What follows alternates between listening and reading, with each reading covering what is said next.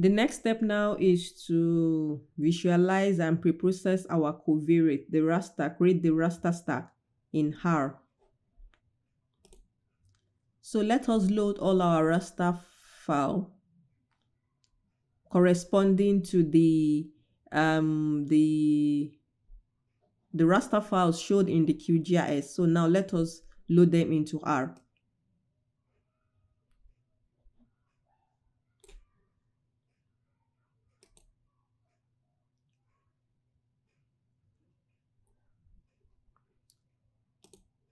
let me just show you one or two of these raster files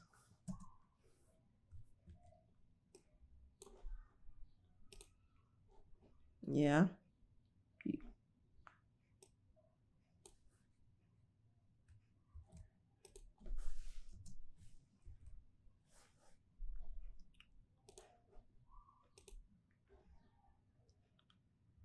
if you remember we said that we need to ensure that our data set are the same. I mean, they have the same extent and the same resolution. So you can see the dimension for these two, like as example, are the same. Likewise, the resolution. So let us just um, visualize these um, raster files.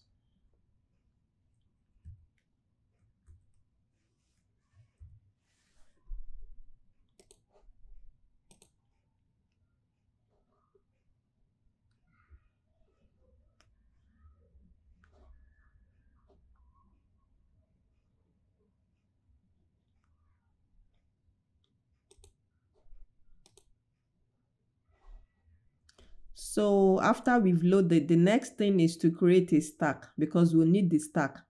But before we create the stack, we must ensure that we create the stack in such a way that it is the same with the way we put have it in our model here.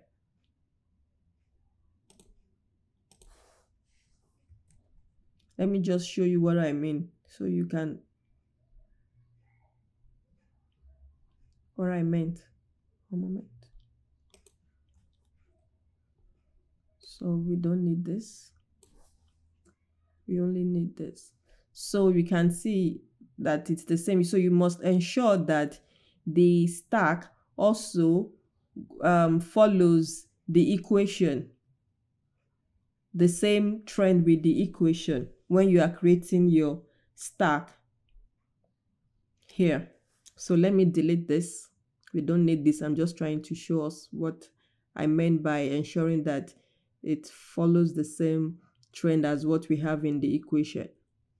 So let us create our stack now.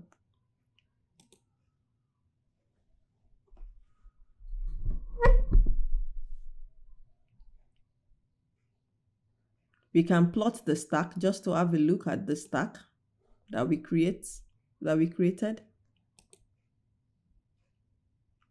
This will take a while because we have quite a number of them.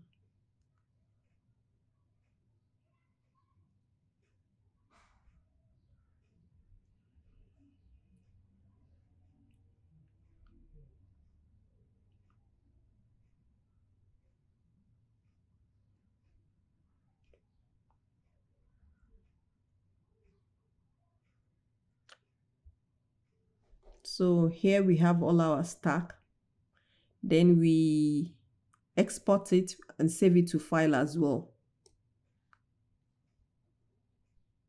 We can also standardize if we, we can also normalize if we want to, but um, for us here, we really don't need to because it does not really influence our results. So we can use our data the way it is as long as we have the same dimension and the resolution is the same and the data type is also the same as I've showed previously with two of the raster data sets. So let us write to file, the stack to file.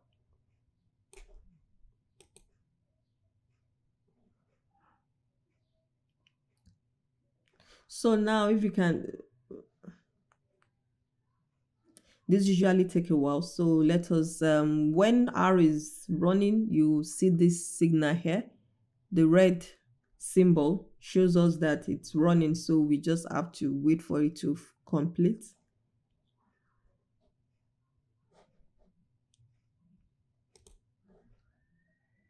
This might take some time because um, we have uh, a large a relatively large data set. So this might take some time for it to complete. So uh, I will pause the video now and um, we come back to fit our model